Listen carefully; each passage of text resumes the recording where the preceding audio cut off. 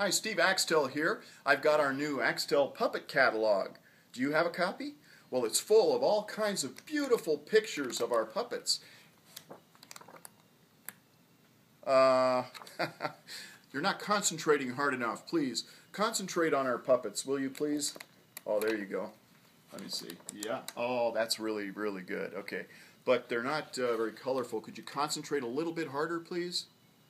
There you go. Okay, good. There we go. Let me see. Oh, wonderful. Good job.